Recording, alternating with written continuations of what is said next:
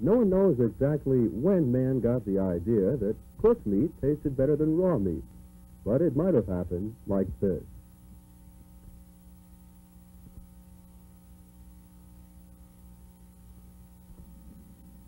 The origin of cooked meat is lost in antiquity, but very likely its discovery was accidental.